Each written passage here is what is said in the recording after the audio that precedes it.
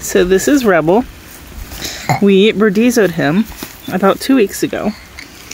And unique opportunity to show you. Stop, Rebel, stop. Only one worked. So I'm gonna have to do this side again because it did not shrink up. Apparently the clamp, either I didn't get the cord, oh, thank you, Rebel, for that.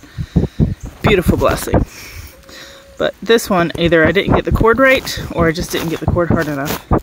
This side shrank. It's killed. It's still there. Like, I can still feel it. But you can see the very obvious difference between the two sides. Thought I'd share that because you can see it on different goats. Some people will show an intact buck versus a castrated buck with Burdizzo, but you don't generally get to see both on the same animal. So we'll have to recastrate this one side. But here you go, boy.